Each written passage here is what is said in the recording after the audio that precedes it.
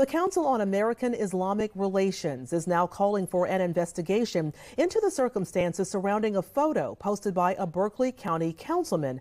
The group says that by associating ordinary Middle Eastern and Islamic attire with terrorism, Councilman Tommy Newell and the organizers of the training exercise are placing Muslim families in danger of stereotyping and bias. That group is calling for county officials to investigate. We've reached out to Councilman Newell for a comment.